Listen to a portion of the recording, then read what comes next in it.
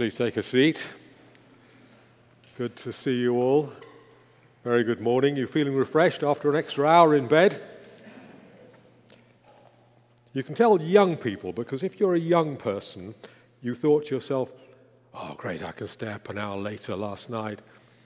If you're old like me, you think, oh, hallelujah, an extra hour. Let's pray. Loving Heavenly Father, we do thank you for Jesus, strong and kind. We do thank you for the rock like security of faith in Him because of who He is and what He has done. Uh, please, Lord, will you strengthen our faith as we look at your word together now in Jesus' name. Amen. Well, in our reading from this letter, the letter to the Galatians, we've come to a very personal and painful passage. And it reminds us, perhaps uh, some of us, of dilemmas that we faced in our own family. I apologize if, if, if the memory is painful to you, but uh, I, I know how you feel. When you see a member of your family, perhaps close family, clearly going astray, going off the rails, what do you do? What, what do you do? On the one hand, you might think to yourself, well, you know, they're grown ups, uh, if they are. Um, They've got to make their own life, they've got to make their own decisions. I hope that they'll come to their senses, but you know, there's nothing I can do about it, really. Or should we agonize and plead with them? Should we beg them to turn back before it's too late? They know the right way. Follow it. Well, for Paul, there was a similar agonizing dilemma. And he chose the option of pleading right at the heart of our reading. He, he, he says this Brothers, I entreat you, I beg you. Brothers meaning members of God's family. He's, he's putting himself on their level uh, because that's what he is and that's what they are sons and daughters of the living God through faith in Christ Jesus. And he's begging them to turn back to the right path. Just to remind ourselves who these Galatians were, uh, Galatia was a, a, region, not just one town or city, but a, but a whole region in what we now call Turkey, modern Turkey.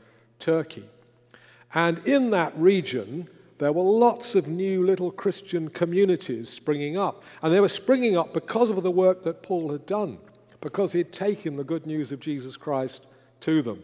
And we'll see more about that later on. And they had responded so well. They had, had responded with joy to the message, to the good news of Jesus.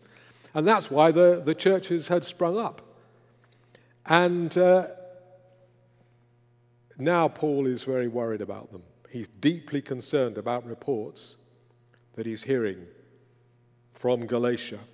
Because it seems that there's been a deputation from Jerusalem, that a, a, number of the prominent Jews in Jerusalem had, in fact, decided that Jesus was probably the Messiah. And therefore, they'd started to follow Jesus. Jesus, of course, uh, had gone back to heaven some time before all this.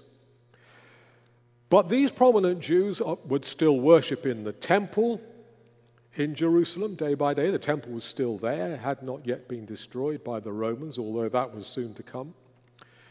And they would still live their, their lives under the law of Moses because they always had done. So far, so understandable.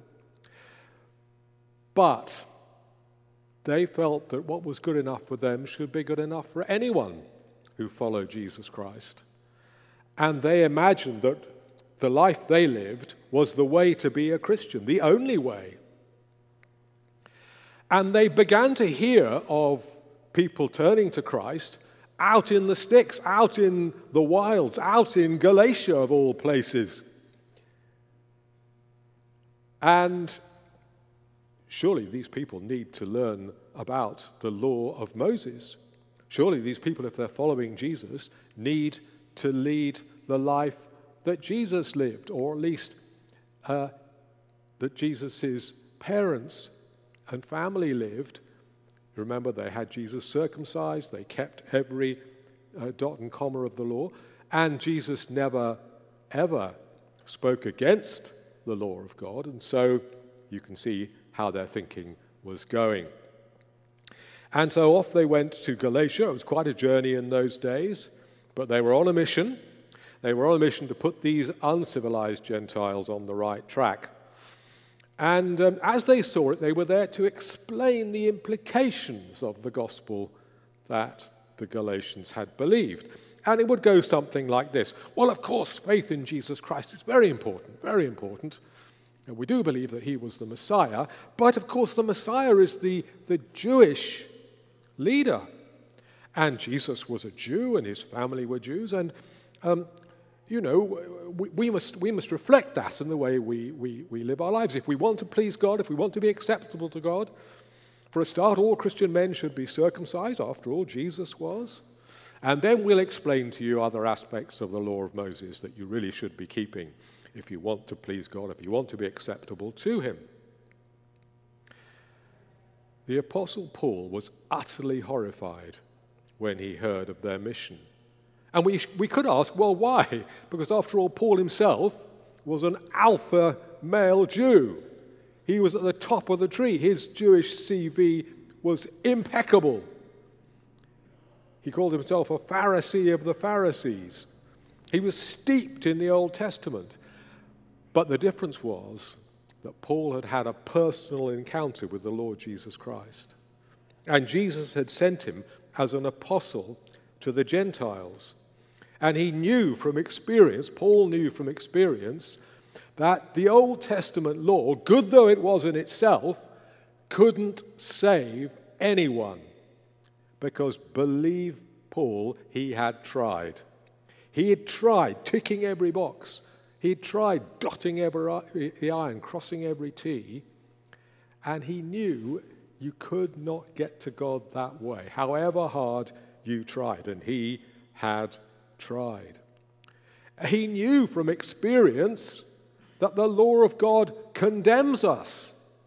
The law of God is good and perfect, and we are very much not. And so the law of God in itself can never get us to God, quite the opposite. Because we all break it. Only Jesus kept it perfectly, and this is where they made their big mistake, wasn't it? They didn't see that Jesus had kept the law so they could be forgiven for breaking it. They didn't see that Jesus had taken their condemnation when he died upon the cross. This was the great news that Paul had taken to the Gentiles. You don't need to go down that route. Jesus has set you free. So we can only be saved from condemnation by faith in him. And said Paul, if we add even one law to that, we lose it. That's why Paul was pleading with the Christians in Galatia. And his plea falls into two parts, two headlines Stay free, he said, and stay faithful. Firstly, stay free. Formerly, when you did not know God, you were enslaved to those that by nature are not gods. You see, the Gentiles weren't without religion. Oh, no, they were awash with religion. They had religion coming out of their ears. There was religions of this and religions of that. There were mystery cults. There was official Roman, um, the Roman Empire, uh, where you had to worship Caesar. There were religions all around them, and they were enslaved. They were utterly enslaved to these religions. Very, very demanding. Woe betide you if you didn't keep all the rules and regulations. Very superstitious and slavery. Paul, that's how Paul described it, and that's what it was. And of course, God didn't create that slavery. God wants men and women to know Him. That's how Paul starts. You did not know God. Tragic. Instead, you had religion, which is no sort of substitute at all. And without God, we are all enslaved. Without the knowledge of God, we're enslaved one way or another. Jews and Gentiles, religious or non religious. Think of some of the modern slaveries that our world offers us slavery to consumption, the slavery of a consumer society, wage slavery, got to earn more and more and more and more, slavery to tyrannical regimes which cause havoc in the world. In one way or another, we're all enslaved. We're all born into slavery and we will all live and die in it unless we're set free by the Lord Jesus Christ. And that was the great news that Paul brought to the Galatians. No wonder that initially they accepted it with great joy. Now that you've come to know God, or rather been known by God, they had a direct relationship with the Lord God through the Lord Jesus Christ. No need for religion anymore. We can be free because of what Jesus did for us. And without that, we are slaves. Jesus said himself, If the Son makes you free, the Son of God and the Son of Man, Jesus himself, you will be free indeed. And once you're free, why would you ever go back to slavery? Jesus uh, scandalized the religious leaders of his day by saying, You are still enslaved. We've never been slaves. You are, you know, until you put your trust in me, you're just slaves. And the thing about, about this is that once you're free from slavery, why would you ever go back? There's a, a film called 12 Years a Slave, was out a few years ago. I, I, I wouldn't say I recommend it because it's grueling, but it does demonstrate very clearly the horrors of slavery and the joy of being set free, which the central character is eventually after 12 years. And it's a true story. And of course, he never ever went back to slavery. Why would you, once you're free, go back? It's unthinkable. And yet, the unthinkable was happening in Galatia. How can you turn back again to the weak and worthless elementary principles of the world whose slaves you want to be once more. And those weak and worthless elementary principles is that worldwide illusion we've already described, which is that we can somehow justify ourselves. We can somehow put ourselves right with God if we think of God at all, or else we can somehow make our own way in the world. It can't be done. It can't be done by doing good works or by being extra religious. It's weak and worthless because it doesn't work. It's a direct path back to slavery. So, Paul was urging them stay free, stay free. And let's hear that plea ourselves now, here in the 21st century, where the issues may be very different, but where the plea is the same stay free. Don't let yourself be enslaved again by anybody else or by yourself. Because you see, there is that innate tendency in human nature to want to do things for myself, to want to earn brownie points. We'll come on to that a bit later on. I might even think that somehow I was kind of, um, you know, making myself acceptable to God by coming to church this morning. What a mistake. No, we don't um, make ourselves acceptable by coming to church. We come to church because we've already been made acceptable to God through Jesus Christ. We come to confess our sins, we come to praise Him, but we don't come to earn His favor. That's slavery. Well, the Jerusalem group were not only demanding that the Galatians be circumcised if they were men, but he was also start, they were also starting to impose all the Jewish ceremonies. We see this in what Paul goes on to say. You observe days and months and seasons and years. I'm afraid I may have labored over you in vain. You see, they were saying, now, the Sabbath, you've got to keep that, of course. And then there's Passover, yep, yep. And then there's Feast of Tabernacles, Feast of Booths, and there's this and that, and the Feast of the New Moon, and it goes on and on and on. There's no end to it. Once you're a slave, there's no end to the demands that are made upon you. No wonder Paul was so horrified. No wonder he pleads with them. This wasn't just some abstract religious disagreement. The Galatians were in danger of throwing away their freedom in Christ. And Paul took it personally.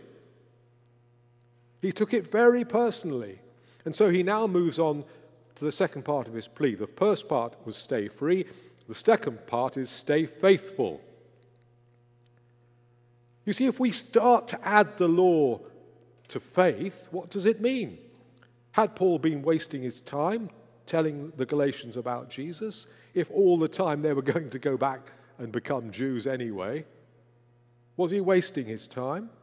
As we'll see, he worked very hard indeed with them. He'd suffered a great deal to take the gospel to them, so he had every right to plead with them and to hold himself up as an example to them. He had given up all his Jewish privileges. Do you remember? He says they're all, slightly rude word, all those Jewish privileges are all just, you know, rubbish, let's say, to use a polite expression. They're just, he just got rid of them all because they counted for nothing in the sight of God. And so he says, you know, look, look, this is what freedom looks like. Um, don't turn away from me because I'm here, I've been given to you as an example to show that his faith was in Jesus Christ alone. Brothers, I entreat you, become as I am, for I also have become as you are.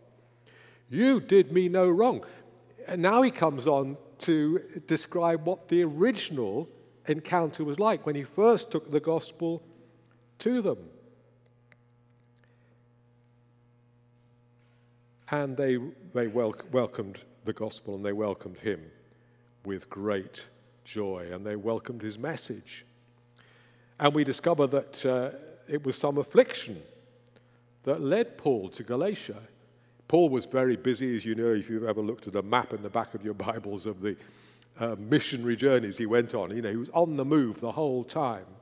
And yet he had to stay in Galatia for quite a period of time, which is why there were several Christian communities that had sprung up, because he was ill. He was unwell. Obviously, God must have arranged it that way. He had a physical weakness, but they didn't despise him. It's very touching, really. They didn't judge him by outward appearance. And this was part of their acceptance of the gospel. You see, the gospel, at the center and the heart of the gospel, is a man on a cross. That's a pretty weak position to be in, isn't it? Nailed to a cross. And the messengers of the gospel can appear very weak. But it's the power of God to save, the only way we can be saved. So they received Paul not just as some um, messenger from a faraway place. They, they received him as though he was like an angel, a messenger straight from God, straight from heaven, an ambassador for the Lord Jesus Christ. You know, it was because of a bodily ailment that I preached the gospel to you at first. And though my condition was a trial to you, you did not scorn or despise me, but received me as an angel of God, as Christ Jesus. Yes, he was. Jesus had sent him direct and personally to the Galatians. Now, some people think that the problem may have been Paul's eyesight, because he goes on to say, What then has become of the blessing you felt? For I testify to you that if possible, you would have gouged out your eyes and given them to me. It's a very, very moving testimony to the love that was there at first between Paul and the Galatians. He brought them this message of freedom he was in a, weak condition, and they longed to, to help him and respond um, if they could. They knew that his visit was a real blessing to them. They knew. So, what had changed? What had changed since those early days? Well, of course, Paul knew what had changed, and now we know also. And he was deeply, deeply troubled about it. These Judaizers had arrived and had got to work busily undermining Paul's message and also undermining the messenger. And it, once again, it would have gone a bit like this. You know, that chap, Paul, well, he's a bit of an extremist, really, you know. He's a bit of a fundamentalist. You know, he, he, he's, he's, he's pretty exclusive. He's pretty offensive in what he says. You know, you don't want to offend people, do you? No, well, just keep, keep the law, keep Moses' law, and people will be quite happy with that. And you'll be very acceptable in society. You know, people will, will want to, um, to welcome you. I'm sure you're sensible people, you Galatians. I'm sure you'll agree. And Paul says, No, no, no. Don't throw away your freedom. Stay faithful. He's pleading with them, not just, uh, uh not at all really for his own sake, but for their sake. Have I then become your enemy, he says, by telling you the truth? They make much of you, but for no good purpose. They want to shut you out. You may make much of them. There's such a lot going on here, isn't there? Do you see what he's saying? He's saying they're clever people, these Judaizers, and they'll flatter you. They're flattering you. They're telling you that you can be very acceptable in society. All you've got to do is to keep the, the law of Moses, not only acceptable to God, but acceptable to other people. Um, they are telling you you can play a part in your salvation. That flatters human pride. We all like to think we've contributed something, don't we? Paul says, Oh, yes, it's very flattering, but it happens not to be true. I'm telling you the truth. Is that so bad?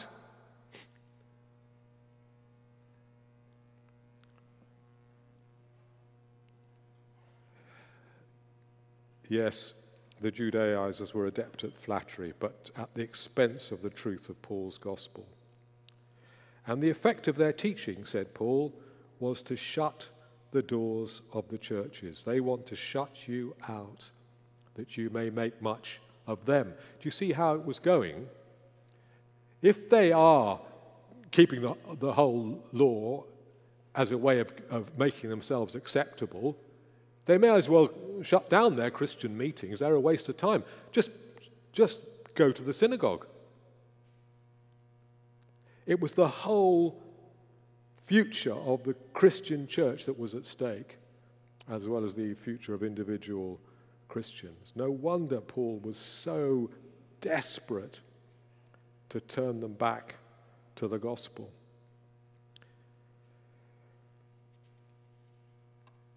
And then, of course, once they all are in synagogues, who's going to be in charge? Who's going to lead those synagogues? It's going to be these highly impressive Judaizers from Jerusalem, isn't it? You see, that's how it goes.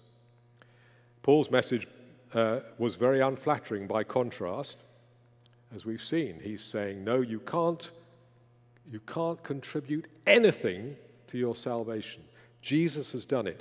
All other religions and faiths say you must do this, do that, do, do, do. The gospel is Jesus has done it. So you must choose between do, do, do, or done. And do, do, do is the way of slavery. Well, we're coming to a conclusion. We're coming to an end. How agonizing this was for Paul. Look what he describes it to you. My little children, for whom I am again in the anguish of childbirth until Christ is formed in you. He says it's worse than giving birth. I don't know how he knew, but I suppose he'd been told. And anyway, there were no anesthetics, were there, in those days? So, yeah, um, we, we see what he means. It's agonizing to bring forth mature Christian people who won't be swayed by misleading teaching. I wish I could be present with you now and change my tone, for I am perplexed about you. You see, these, These flatterers are all very friendly when they're with you, and then they push off and say, oh, you know, these poor, these poor Galatians, these poor ignorant Gentiles. Paul says, I love you whether I'm with you or whether I'm away. I care for you, I pray for you, I plead with you wherever I am in the world, whether I'm free, whether I'm in prison. I just want you to be free yourselves. We must stop. We must stop. Um, just to, to a- apply this second point, because you see, this problem is still rife. It's still rife in Christian churches today. It's Jesus and this, it's Jesus and that. It's adding stuff to the gospel, it's taking away stuff from the gospel. But if you add to the gospel, you've lost it. If you subtract from the gospel, you've lost it. Either Jesus Christ has saved you or he has not. And my dear friends, I know you know he, he has, but just stay with it. Otherwise, you see, we may as well close the church. God forbid. Amen.